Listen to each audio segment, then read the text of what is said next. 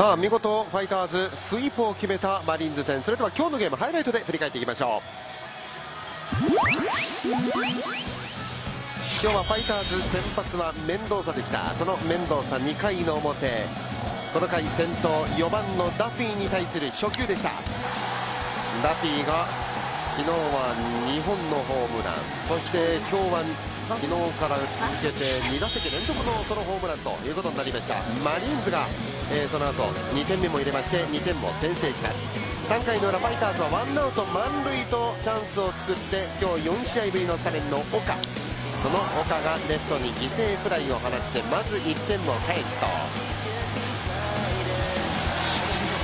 ツーアウトランナー一塁二塁で3番首位打者の近藤。その近藤がきっちりとここはセンター前にタイムリーヒットを放ちまして2対2の同点とします。2点取られた後すぐさま追いついてそしてさらにツーアウト満塁という場面で絶好調レアードでしたがここは三振に倒れてスリーアウト。5回の表マリンズも、えーまあ、攻めるんですが面倒さの投球これが清田に対する危険球と判断されましてデッドボール退場となります。で急遽今日のヒーローとなったエスコバーが投入されてそのエスコバーが鈴木をファーストゴロに打ち取りましてなんとかこのピンチを脱します。すると、えー、5回の裏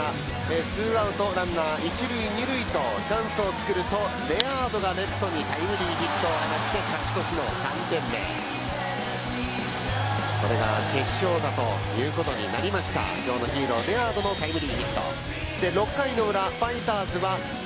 この回先頭バッター太田のレフトへのツーベースヒット。柴田も好返球でしたがここはヘッドスライディングでセカンドを陥れました太田。でその後ツーアウトになるんですが西川がセンターにタイムリーヒットを放ちまして貴重な貴重な4点目。これで2点差となります。8回の表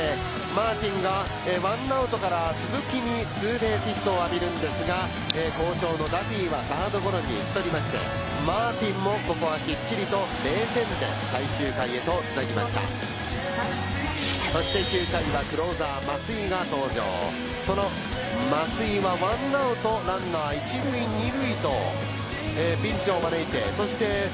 ワイルドピッチで二塁三塁とされるんですが福浦は三振に切ってこれでツーアウト。そして清田は最後空振りの三振に切りまして、えーまあ、ランナーは背負いましたが2点差を守っ